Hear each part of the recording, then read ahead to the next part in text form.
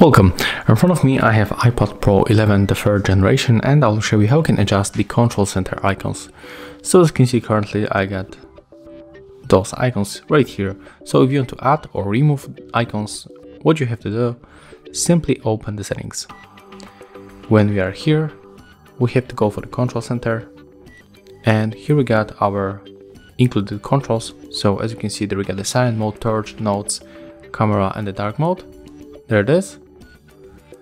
And if you want to remove, for example, uh, for example, the silent mode, you have tap on the minus and click remove on the right side. If you want to add some icons, uh, for example, we can add maybe the screen recording. Tap on the plus and just take a look. It appears right here. There it is. Right now we can easily use the screen recording. And as you can see right now, it works. Let's turn it off. And we can also add additional icons. Maybe we can use the music recognition from Shazam and the timer.